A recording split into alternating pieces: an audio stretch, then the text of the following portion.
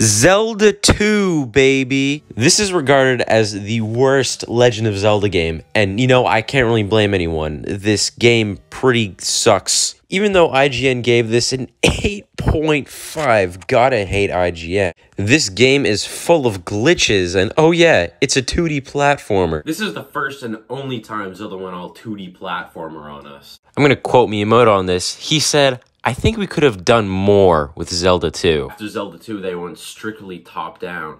Then they made A Link to the Past, which is an incredible Zelda game. But look, the long play's only two hours. I know how I'm gonna spend my Friday night. It's not like I have friends or anything. So I played Zelda 2 so you don't have to. Hey, that rhymed.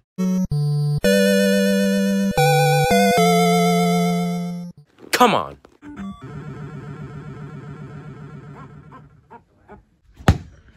Don't play this game. It sucks. It's awful.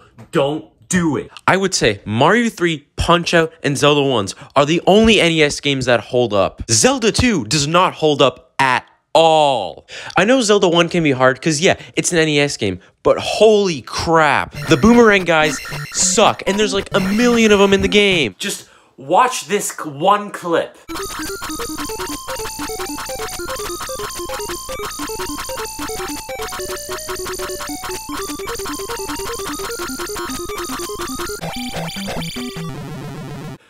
Who thought that this would be good game design?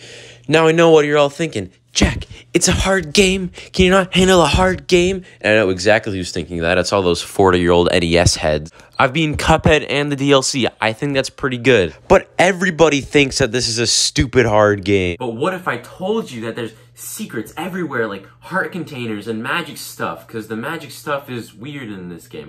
Well, they're in these dumb random locations, of course, because where else would they be? Yeah, it's pretty stupid, but wait till you hear these enemy names. For example, ach, ach, ach, it doesn't work. My favorite, Bago Bago. I like to bago, bago, bago, if you know what I'm saying.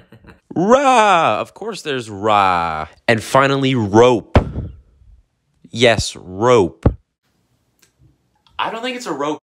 I know what you're thinking. Jack, is the game really that bad? And you know what? It's not awful. If you want a challenge, go ahead. Be my guest. But some of this is just plain old stupid. This is also the first time Dark Link was introduced, so that's pretty cool. Pig Ganon's here, but he's only a game over screen, which is kind of dumb. And you know, the controls are actually really good in this game. I would even go as far as say it's the best controlling NES game. All right, let's see how we're doing for time. Okay, I'm going to be honest with you guys. There's not much to review about NES games. They're so simple, which means we're really going to have to dig deep for these next couple things. I am error. All right, thanks, man. Use keys in palaces they are found in. What? Do not go south without a candle. Okay. It's safe to say these NPCs are pretty dumb. I thought Nintendo had translators. I don't want to talk trash on an NES game about graphics, but oh my god, this game does not look very good, even for an NES game. So, Link, you look like a girl in this game. That tunic is not doing you any favors.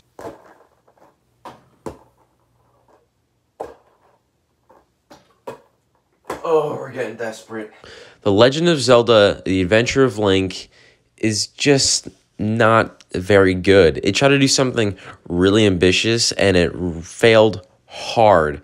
If you want to play Zelda game and you want to also want to play a really hard game, then I would consider playing this because it's hard, it's still a Zelda game, and it's different.